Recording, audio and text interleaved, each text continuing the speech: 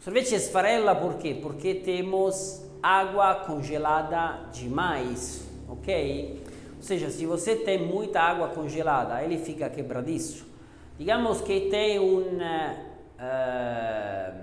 como dizer, tem uma eh, explicação física a tudo isso. Se chama, em física, se chama transação vidrosa, eu acho, digamos, eh, eh, transição, transição vidrosa. No, in italiano è trans, transizione vetrosa. Transição.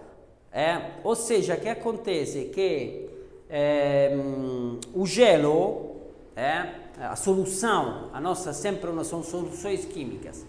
A solução chega ehm, naquele que é chamado, ehm, digamos que, bom, agora não me lembro muito bem, mas chega em um momento que o gelo fica tipo vidro, por isso dá aquela sensação quebradiça, ou seja, duro, mas se você dá um golpe nele, o vidro quebra em, todo, em mil pedaços, não? Por isso chama transição vitrosa, vetrosa, não sei como se fala em português. Então é isso. Então o que temos que fazer nesse caso? Temos várias opções. A primeira, a mais fácil, é só aumentar um pouco o teor di dextrose.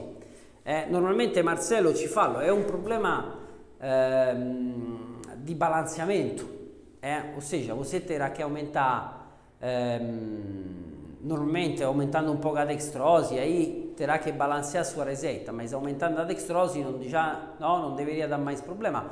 Ou te, eh, é um problema de sólidos, ou seja, tem muita água e poucos sólidos, então aumenta um pouco os sólidos, mas aumentando a dextrose automaticamente você está aumentando os sólidos. Ou seja, o sorvete fica quebradiço normalmente por essa motivação. É um problema de balanceamento. Aumenta, repito, sólidos e dextrose, balanceia bem sua receita que vai ver que não vai ter mais esse problema.